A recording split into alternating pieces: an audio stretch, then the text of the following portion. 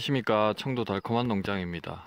오늘은 저희가 감밭에 아, 약을 치고 있는데요.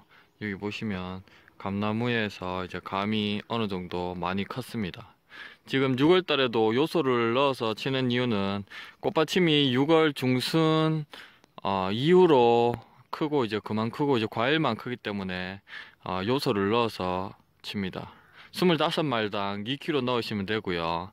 한 말로는 이제 80g 정도 넣으시면 됩니다. A little lamb, little lamb, little lamb. Mary had a little lamb, its fleece was white as snow. And everywhere that Mary went, Mary went, Mary went, and everywhere that Mary 오늘은 6월달 감나무 약 방지하는 날인데요. 어, 여기 보시면 요거랑 요거랑 이렇게입니다.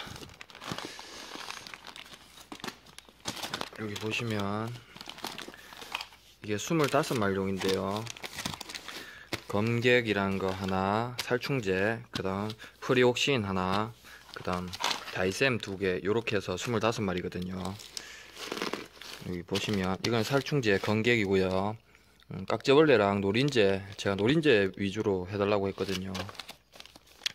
여기 보시면 감은 감관총 채벌레 그 다음 감꼭지 나방 노린재류 깍지벌레류 이렇습니다. 음, 다른 것도 이제 이렇게 있고 그 다음 여기는 프리옥신입니다.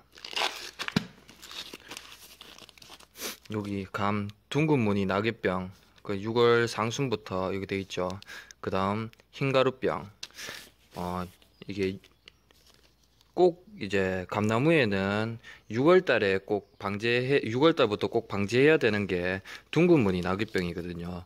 둥근 무늬 낙엽병은 어, 그 잠복 기간이 정말 깁니다. 6월 달에 만약에 감염돼 가지고 9월 달 이제 감 딸 때쯤 돼 가지고 이제 낙엽이 지면서 낙엽이 떨어지고 나면 과일이 이제 수분이 빠지기 때문에 어 수분이 빠지면서 감과 이제 낙엽이 같이 지면서 다 떨어집니다.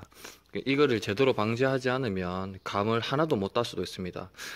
음, 감 주 산지가 뭐 상주, 영동, 청도 뭐 다른 것도 있겠지만 한 번씩 이제 감이 많이 없다고 할 때는 둥근무늬 낙엽병이라는 병이 정말 많이 번져가지고 많이 이제 수확을 못했을 때 감값이 확 올라갑니다.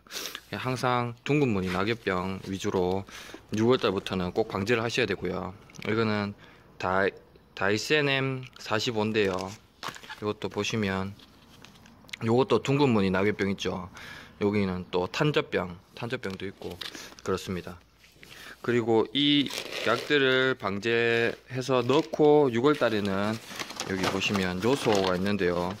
요소 한 2kg 가량, 25마리에 2kg 가량 한 그릇으로 한 이 정도 한 개 반 정도 하면 안 될까 싶습니다.